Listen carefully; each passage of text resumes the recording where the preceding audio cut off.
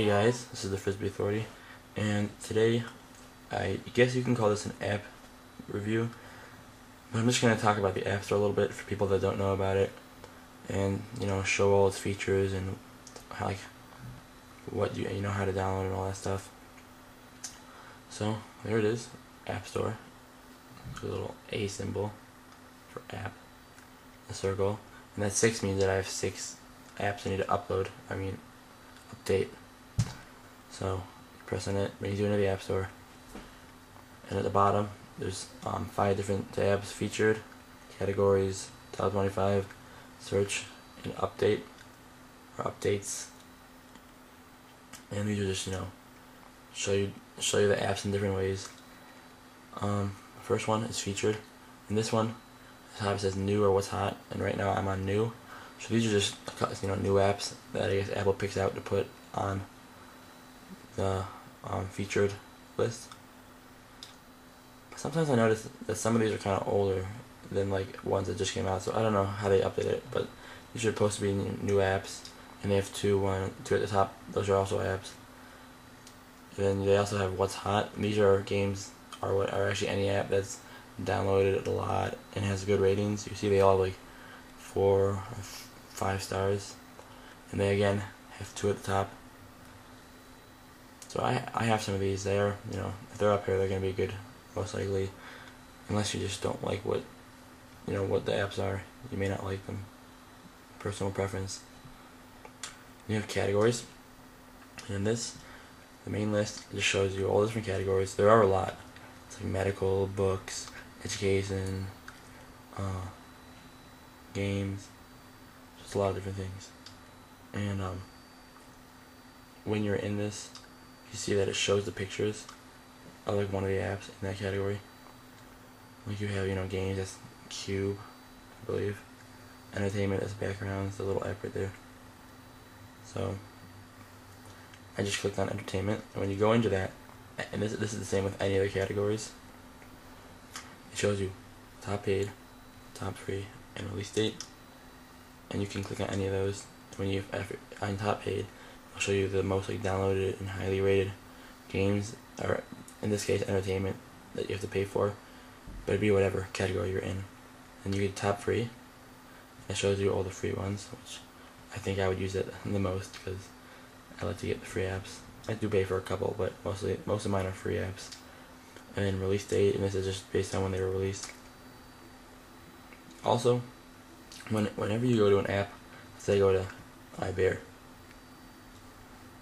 you know, I'll show you a little description of the app. It shows the app at the top, button, little description, and then it shows you pictures. Most of them have pictures. And then tell a friend, report a problem. Shows you the information about it, the size and everything. And this is the same for every app. Also, there's reviews. And you can read all the reviews on here. When you hit the bottom, it says more reviews. So yeah, you can read read all the reviews and everything on here. So you really you don't have to use your computer at all to do download apps. And if I were to download this, just click on that once, and then it says buy now. But if it was a free app, it will say. I already have that one. Thank you, call. It will say install. It won't say buy because you're not buying it. Um. So then it, then you press it and it will if you have not entered your password recently, it will ask you for it. But if you already entered it like a minute ago, it won't ask you for it again. And it'll start to download it onto the main screen. It'll go back into the you know whatever the whatever slot you have. It'll put into an open slot, and um, it'll just show a little bar at the bottom and start to download. So that's categories. In top 25, you have top paid and top free. Top paid is the top 25 paid apps and top free is the top 25 free apps. And I like to go here like every day or every other day just to see what the top apps are and see if there's any that are worthwhile download because these are normally, you know, apps that people like, so good apps. So I'll look like in the top to see if uh, there's Enigma, one I just did a review on.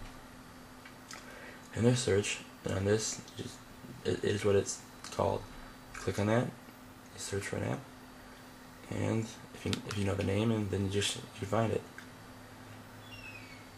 and finally updates this is so that it will tell you when you need to up when the new version of an app you have comes out, and you can either press on it.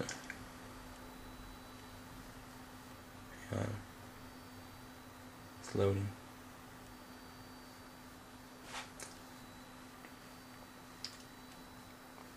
Because it doesn't want to load.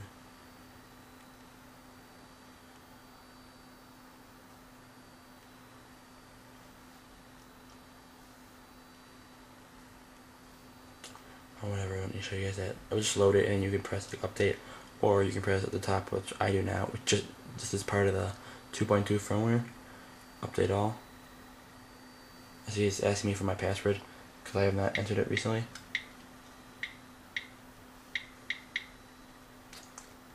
Yeah.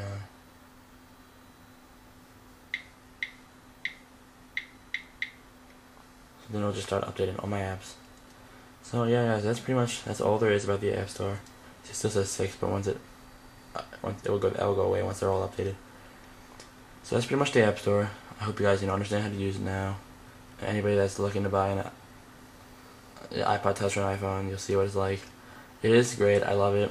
You know, you don't have to use your computer at all to download apps. You could then, if you download them on your computer, then plug in your iPod or iPhone, wait for it to back up, and then get them and that's a much more laborious process. So with the app App Store, you can just download them straight to your iPod Touch or iPhone. It's really great. And uh, when you do, if you download apps and you plug it into your computer, it will take the apps from your iPod or iPhone and put them onto your on computer, so your computer knows that you have them. It'll put them in your computer library. So yeah, this has been the Frisbee Authority. It's my little talk about the App Store. I hope you guys enjoy it. And like I've been saying in my last videos, please subscribe. You know, I will be doing more app reviews. And I know for a fact that I am getting some products to review. So I will be doing, I'll put those up as soon as I review them. And I'll put up unboxings.